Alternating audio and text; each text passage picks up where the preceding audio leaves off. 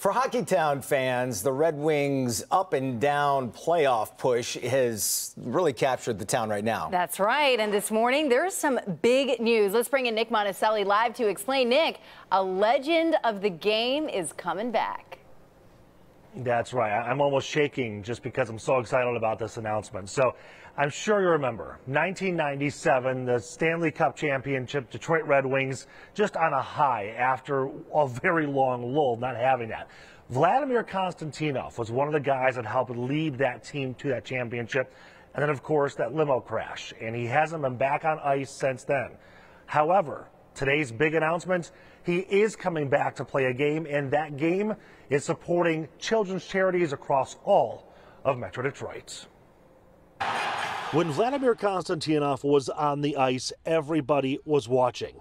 Part of the Russian Five, Vladdy was the aggressor, dubbed the Vladinator or the Red Shark, helping lead the Wings to the 1997 Stanley Cup Championship. The city was energized, finally winning a Stanley Cup after more than 40 years. Then, six days later, the city was devastated. Of the three men hurt in that limo crash, Vladdy was the worst off brain injuries, partial paralysis, and a coma for weeks, the Vladinator was forced off the ice, never to play another game. So stand up. That is, Walk until now. Tell me if that's too tight. Good? Good. All right. Konstantinov's Russian is still far better than his English, but that smile speaks all languages. There we go. His first time back on the ice was slow and steady until he instinctively began attacking the puck. Vladdy has joined the Belle Tire sled hockey team. This was his first practice, a solo skate, just to see how it feels. Here we go. The Red Shark joins a team again. This is the first time that you've played with a team since the accident.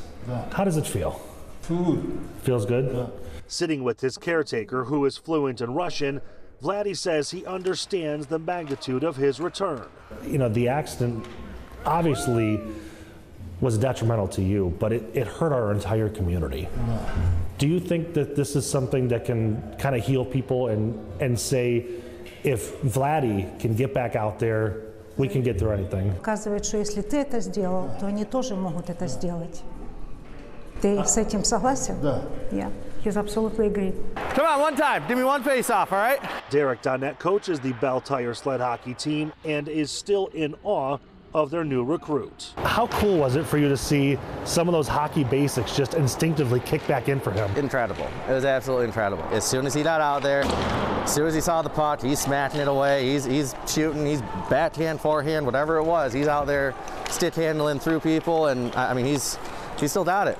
Do you think there's still kind of an open wound in Detroit from that accident and what happened? Absolutely. I was seven when it happened. And, and yeah, I think this is going to be a huge kind of a closure moment. A huge kind of closure moment we can all be a part of. That's the big news today. Later this month, on April 27th, Vladdy will join this sled hockey team and play in a charity game here at Big Boy Arena in Fraser, playing in front of a crowd for the first time since that accident. Yeah, come get the puck, Charlie. Jason Jacobs and Lawrence Howe are on the team with him and are daydreaming about his return. Yeah, it's going to be very emotional in, in all aspects. The excitement. I mean, I guarantee that whole place is going to be packed in general, and they're going to go nuts for it, and I, I know he's going to feel it. And it's probably going to be that mixed emotion. It's going to be a bit overwhelming, but satisfying as well. As practice winds down and players become fans, Konstantinov remains a man of few words. But when asked the most important question, his answer does not need to be elaborate. Did you ever think you would get to this point to be able to play again? No. Mm. No? How does that feel then? Foolish. Very good. very good. I, am just emotional thinking about his return. And then, again, what it's going to be like in this arena when he hits that ice right there in front of a crowd for the first time since that accident, nearly three decades. Now, the game itself is a charity game that's uh, helping the G.H. Pastor Foundation. That foundation trickles down to help children's charities all throughout Metro Detroit. In fact, I want to put up the information on the screen there. You can buy tickets right now. The QR code is on the screen. There's going to be two games. There's a game at 12:15. That's the sled hockey game that's going to have Vladdy here on the ice behind me, and then another game at 2 p.m. with other Red Wing alums. We're talking Darren McCarty, Jiri Fischer, Danny DeKeyser, uh, Derek Miller, Mickey Redmond, huge names on the ice. But again, Jason Priya, for this game, for that day, I don't know if there's going to be a bigger name than Vladimir Konstantinov.